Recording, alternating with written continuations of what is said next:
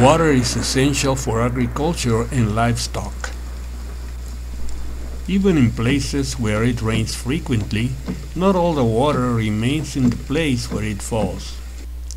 A good portion evaporates and is carried away by the wind to other regions.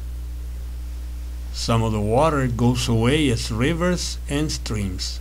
Another considerable amount is absorbed by the soil and becomes underground streams. The water stored in them is extracted through wells and pumped to the surface by using electric pumps of proper capacity. The pumps require a large amount of electricity, which has a high cost. In addition, it is desirable to reduce the consumption of fossil fuel in power company plants, and this is accomplished by taking advantage of the energy coming from the sun. This kind of power is called renewable or green energy. This not only saves money, but our planet benefits from having less air pollution. To convert the radiant energy from the sun into electrical energy, solar panels are used, which transform the light coming from our sun into electricity.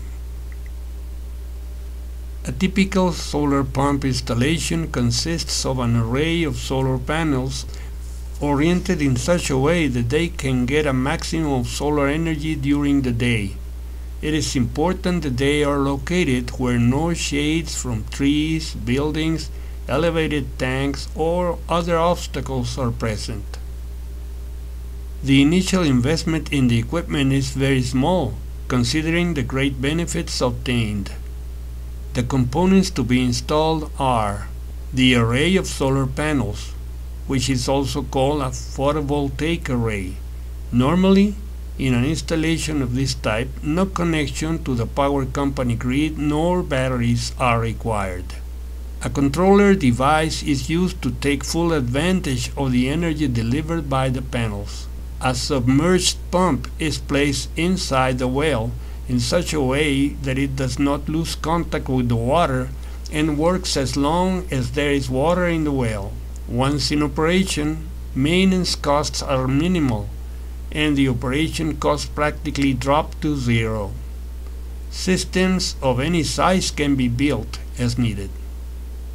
The system must be designed taking into account the water available during the year the volume of water required for the surface to be irrigated, an area free of shadows to install the panels. All these factors require a professional study in order to achieve the maximum efficiency at the lowest possible cost. The typical operation would be as follows. At sunrise, sunlight begins shining on the panels and they begin to generate electricity.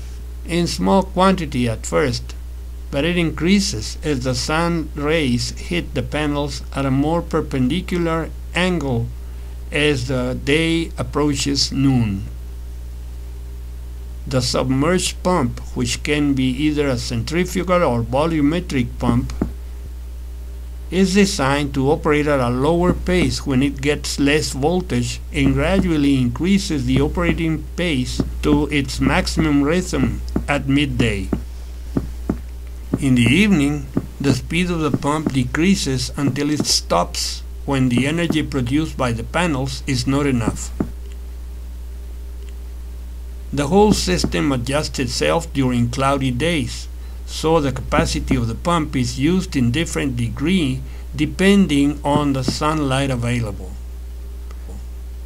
This is basically the way a solar pump system works. I hope this video has been useful to you. Thanks for watching and please subscribe to my channel.